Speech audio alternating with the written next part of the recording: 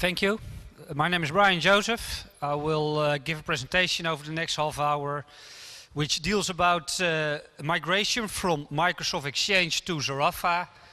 And um, I will start with uh, the introduction on, uh, on Zarafa. Uh, after that I will move on. Why should we do a migration? And then uh, go deeper into the most important issues for the user involved, for the uh, infrastructure involved, for the migration itself. And then we specifically dive into migrating to Zarafa Archiver, as sometimes we don't want to migrate all the old exchange data directly into your new email server, but you would like to put the old data into an archiving system and what it means for the whole setup. Uh, if there's time left, we uh, compare something to Exchange 2010, but I'm not sure if that fits into the schedule. As I have an introduction that I partly gave this morning, I was wondering who this morning participated in the session here. Okay, I think that means that for quite some of you, uh, I, I, will give the introduction. Uh, Zarafa, it's an open source groupware company. We actually started uh, in the beginning of the century, where uh, in 2006 we launched the software at, at CeBIT. In 2008 we made software open source under the GPL license. And in 2010 we got adopted in Fedora and that was very important because since then we have 10 times as much downloads as we had before. Uh, we serve our software by a partner network of hundreds of partners over the whole world.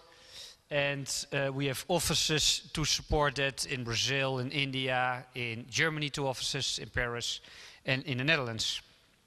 So what does the software actually do? The software is named Zarafa Collaboration platform, ZCP, normally if you install a Linux server, it's not that easy to share your existing Outlook. If you haven't yet an open source desktop, you use a Windows desktop, then that's not easy if you want to do that in large environments.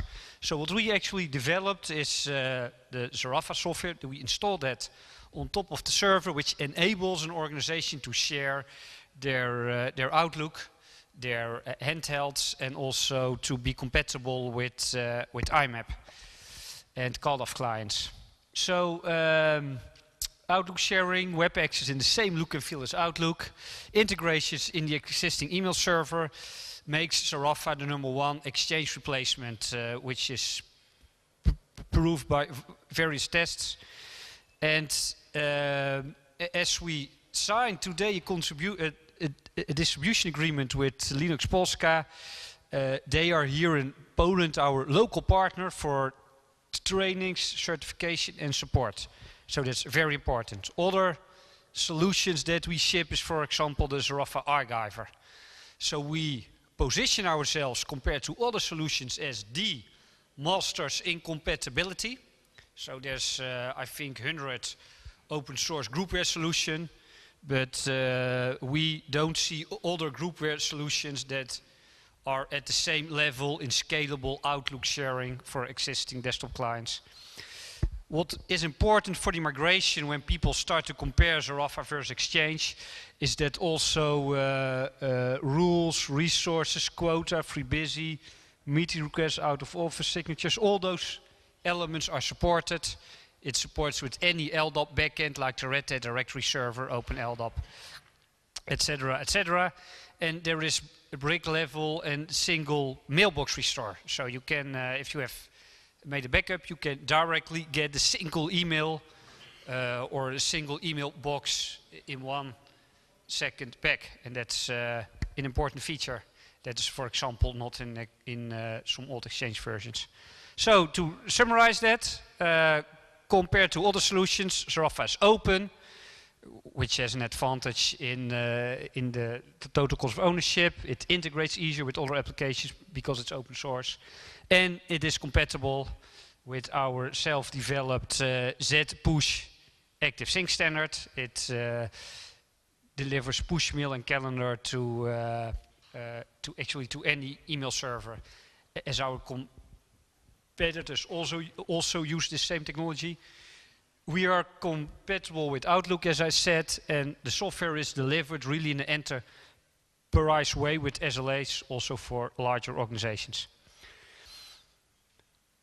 yeah, that's very important. As I said, uh, we uh, we signed our partnership and we deliver here also certifications. And there's a very close relationship with Linux Polska for optimal knowledge transfer. At the same time, this is commercial open source. We own our money with enterprise features in the area of compatibility with closed software. So, for example, the BlackBerry compatibility and the Outlook compatibility are not open source, but the web access, uh, the active sync with iPhone, that's all open source. Then we deliver support and we deliver maintenance on top of the open source Zarafa platform. Typical customers are governments, hospitals, uh, multinationals like Sixt.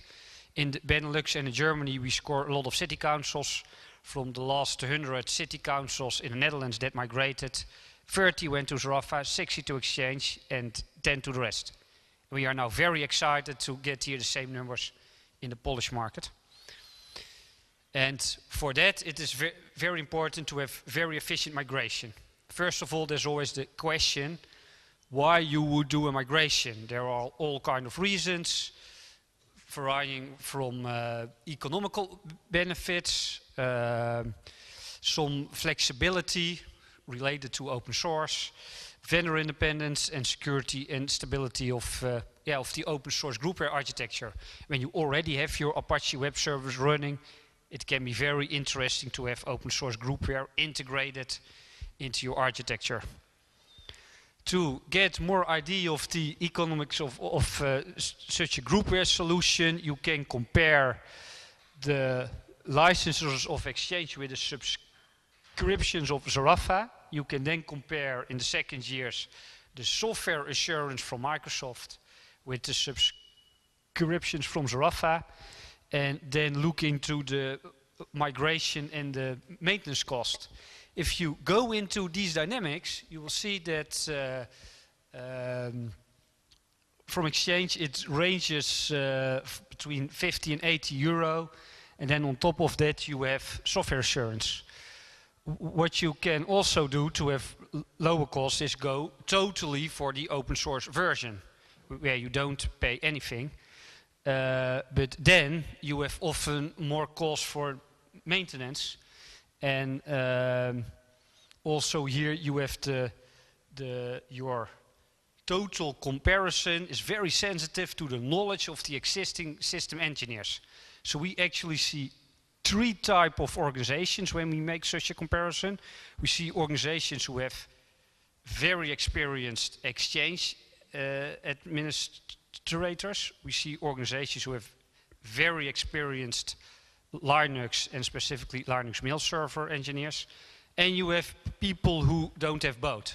That's actually the majority. And in those type of organizations, uh, you can start to compare because uh, there's not that many organizations with really uh, redundancy in MS Exchange engineers, uh, as it's quite an advanced solution. So those are here, uh, if you make something like that, those are important dimensions. And uh, the flexibility of Zarafa out there is using virtualization, for example, KVM.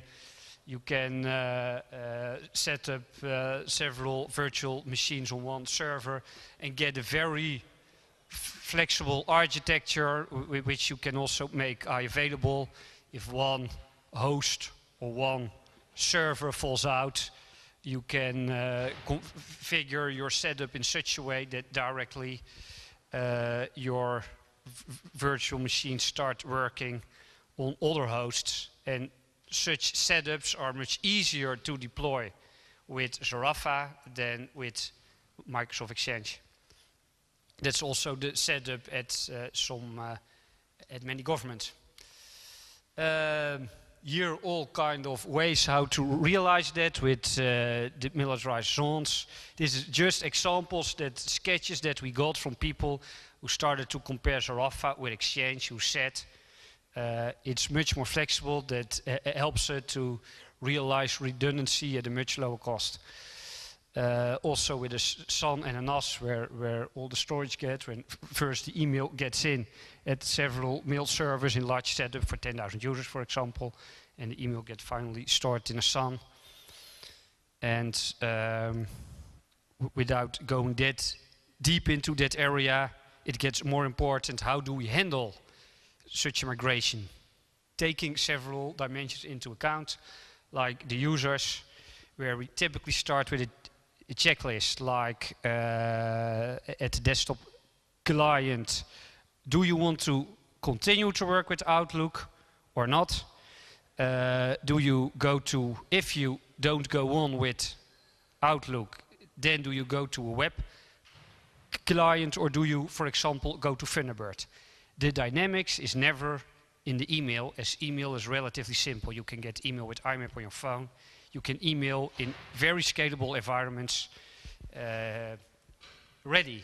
The interesting thing is in the calendar part, and you can test any good groupware solution by making a recurring meeting, make some exceptions, change a few things, do something with the delegates, and if it's still, still I think then 90% of the groupware solutions don't give exactly the correct information if you do that a few times as recurring meetings are quite challenging in groupware. Who actually here uh, works with Thunderbird in this audience? One user Thunderbird, several more, five Thunderbird user. Who has a, I think 10, who, who has a web-based client here? I think that's uh, double the amount, around 20. Who has Outlook as a client? Okay, so that's around the same amount. So I think 40% uh, Outlook, 40% web, 10%, 20% Fed client. Um, so what's there important if you uh, if there are still uh, users who go away from Outlook, of course, you have to train them to get used to the new setup and typically the details like how do I make delegations, signatures, rules, etc., etc and uh, what happens with the mobility if you go to another solution as it is still important that your new groupware solution also support calendar on the mobile devices. Uh, there's several options for that. With Zarafa, we are active sync compatible, as I already said, that's open source. We are BlackBerry compatible, and there's also other solutions around like SyncML, uh, where Funambol has an implementation. Then the ecosystem, that's also very important. Is there still an ecosystem